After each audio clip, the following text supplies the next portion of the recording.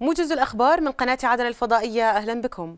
شارك فخامة الرئيس الدكتور رشاد محمد العليمي رئيس مجلس القيادة الرئاسي ومعه عضو المجلس عبد الرحمن المحرمي وعثمان مجلي في الجلسة الافتتاحية للمؤتمر أو مؤتمر القمة العربية بدورتها العادية الثالثة والثلاثين التي انطلقت أعمالها في العاصمة البحرينية المنامة.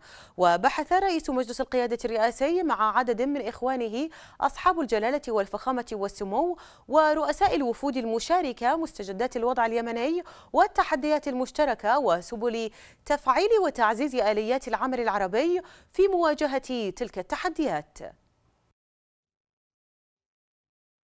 جدد فخامة الرئيس الدكتور رشاد محمد العليمي رئيس مجلس القيادة الرئاسي تأكيد موقف اليمن التاريخي إلى جانب الشعب الفلسطيني وحقه في إقامة دولته المستقلة كاملة السيادة.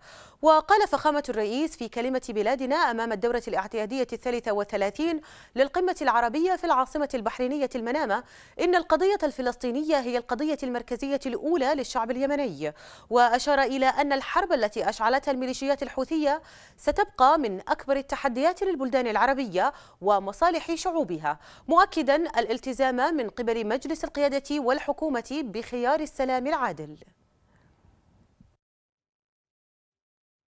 التقى فخامة الرئيس الدكتور رشاد محمد العليمي رئيس مجلس القيادة الرئاسي ومعه عضو المجلس عثمان مجلي أخيه فخامة الرئيس عبد الفتاح السيسي رئيس جمهورية مصر العربية للبحث في العلاقات الثنائية بين البلدين الشقيقين والقضايا ذات الاهتمام المشترك.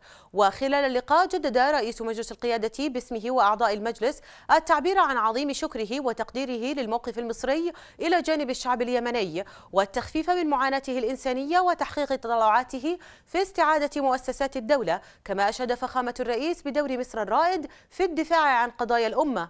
من جانبه أكد الرئيس عبد الفتاح السيسي متانة العلاقات التاريخية بين البلدين الشقيقين ودعم مصر لجهود أو لجهود التوصل لحل سياسي للأزمة في اليمن. التقى فخامة الرئيس الدكتور رشاد محمد العليمي رئيس مجلس القيادة الرئاسي المبعوث الخاص للرئيس الروسي إلى الشرق الأوسط ودول إفريقيا نائب وزير الخارجية ميخائيل بوغاندوف وطرق اللقاء أو وتطرق اللقاء إلى العلاقات الثنائية والفرص الواعدة لتعزيزها في مختلف المجالات.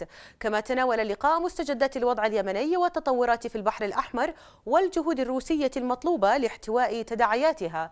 وأشاد رئيس مجلس القيادة بالموقف الروسي الثابت إلى جانب الشعب اليمني وشرعيته الدستورية ومؤسساته الوطنية. أكد ولي العهد رئيس مجلس الوزراء السعودي صاحب السمو الملكي الأمير محمد بن سلمان بن عبد العزيز آل سعود مواصلة المملكة العربية السعودية تقديم المساعدات الإنسانية والدعم الاقتصادي لليمن ورعاية الحوار بين الأطراف اليمنية للتوصل إلى حل سياسي لإنهاء الأزمة. كما أكد ولي العهد السعودي في الكلمة التي ألقاها خلال القمة العربية المنعقدة في البحرين سعي المملكة العربية السعودية لتحقيق الأمن والسلام والازدهار في المنطقة. داعيا إلى ضرورة التوقف عن أي نشاط يؤثر على أمن وسلامة الملاحة البحرية. جدد قادة الدول العربية المشاركين في الدورة العادية الثالثة والثلاثين لمجلس جامعة الدول العربية على مستوى القمة قمة البحرين دعمهم الثابت لمجلس القيادة الرئاسي برئاسة فخامة الدكتور رشاد محمد العليمي ومساندة جهود الحكومة اليمنية في سعيها لتحقيق المصالحة الوطنية بين كافة مكونات الشعب اليمني الشقيق ووحدة الصف اليمني تحقيقا للأمن والاستقرار في اليمن.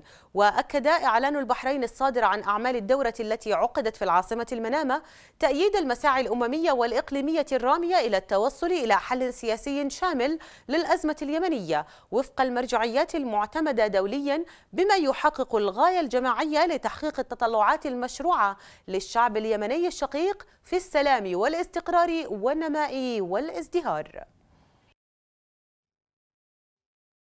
نهاية الموجز شكرا لطيب المتابعة في أمان الله.